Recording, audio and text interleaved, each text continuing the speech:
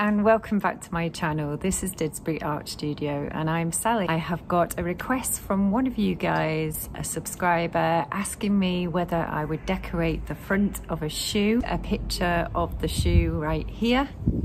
I'm gonna tackle it. It's a challenge.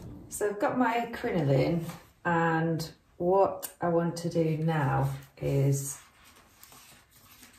in fact, I should probably measure this just to let you know how much I'm using. This is some crin that I already had. So it looks like I've got just over three meters and it is six and a half inches in width. And what I'm going to do now is pull at the bottom of the crin carefully so that it all starts ruching up.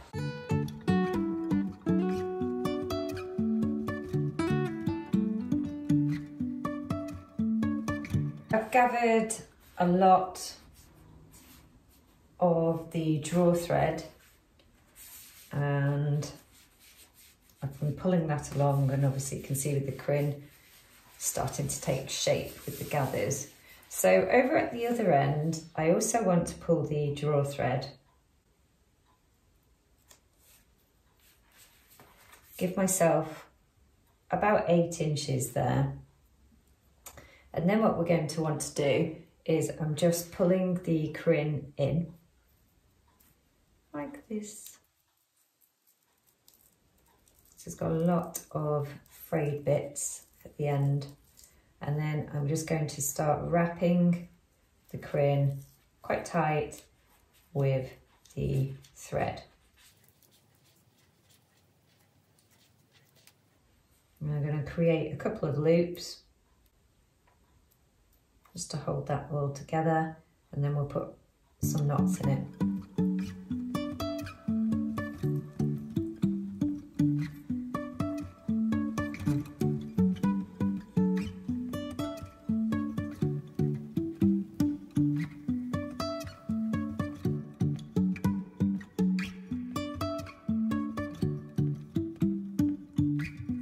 So I've just tied off the draw thread on the other end of the crin as well. So it is the same as that one. So I've got to be honest with you. I got this, I can't remember how much I've said yesterday, but um, yeah, I got a message asking if I'd be able to show a follower how to, I'll include the clip here, do a kind of ruffle frill with some fabric onto the front of a shoe. I decided that the only thing that I could probably use is this crinoline material that I've used before in when I've done some hats.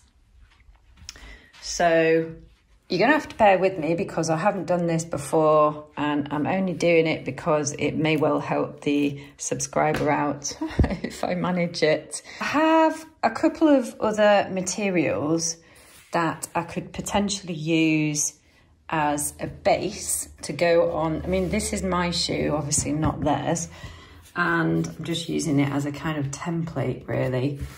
But I thought that if I could sew the crinoline in a kind of ruffle shape onto a background, then that could potentially work.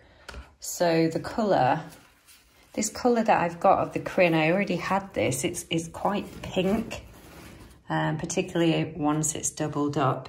Obviously, it gets a little bit more pink. And so actually I was thinking about it last night. Well, you know, perhaps these fabric bases, you can see I've got one here, I cut this off an old dress that I'd got from a charity shop which I thought might be quite nice to pin onto and then sew. But as I said, last night I was thinking about it and I even potentially tried a little bit and I could see that it's going to be really difficult to hold in place on some floppy fabric. So I thought, okay, probably none of these are going to work as a background. So let's just move these out of the way.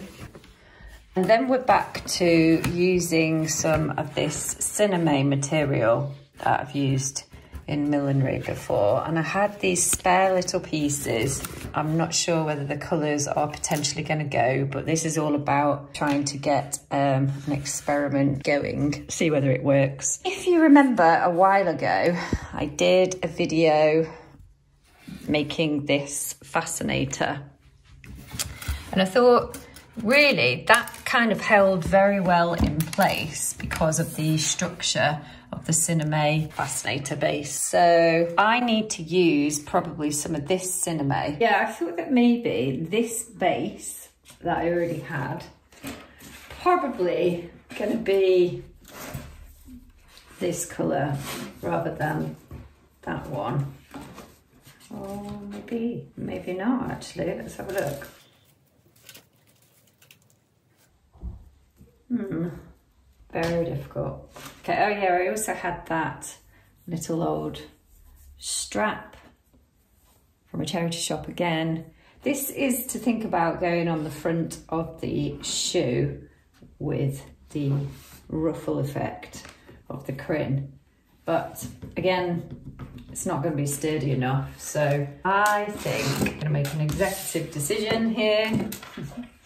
and we'll take this off here and I need to use a small amount of the sinamay so that I can. I'm not going to stick this on, by the way. This is purely just an experiment. I'm using this as a template, my own shoe. But I'm thinking that I could use the sewing machine, and I'm thinking out loud, as I said, because I've not done this before.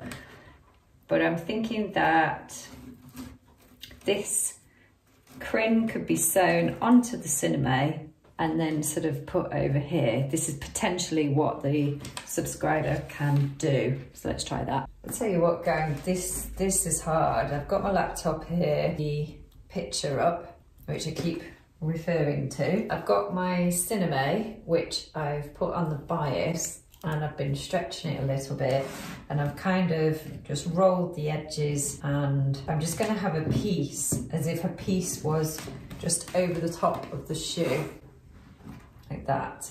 I'm not going to cut it off yet because I don't know how far this is going to go. And this is so unruly this crinoline. And I think I'm going to sew this down. Just looking at the front of that.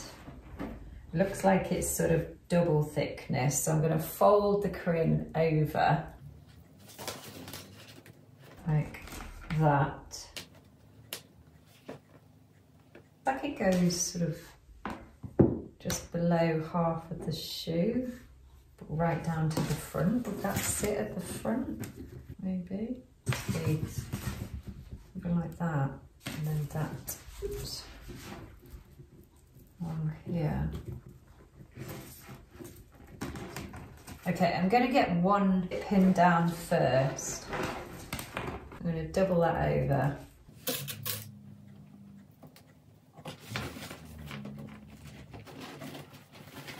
Either way, if this doesn't work out, I'm going to say I gave it a little shot, didn't I? I'm just pinning that down. Oh, it's all over the place.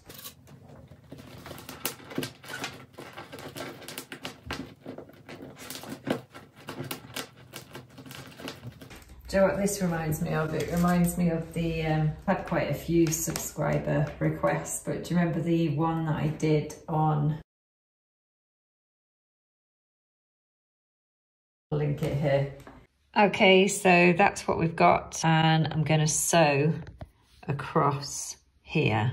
I need to find some thread that's going to match. Let's have a look.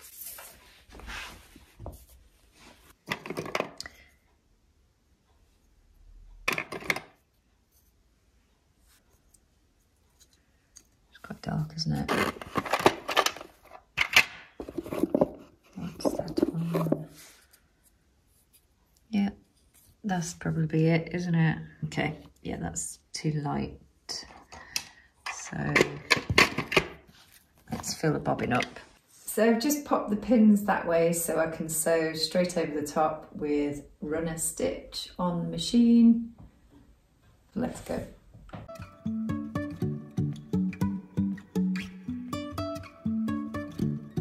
So there's the first bit sewn down. Now I need to do the next layer. I'm pinning the next row down and sort of curling it around from that side over to this side.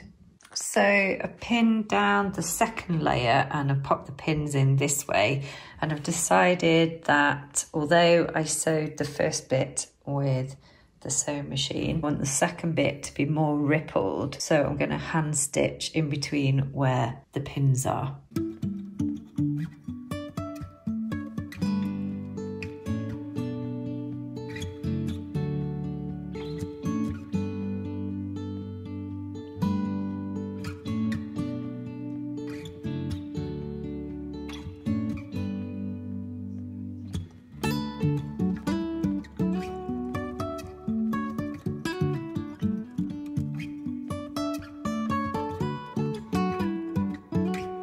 Cannot tell you how unruly this fabric is. I'm getting there, but it is just jumping about everywhere.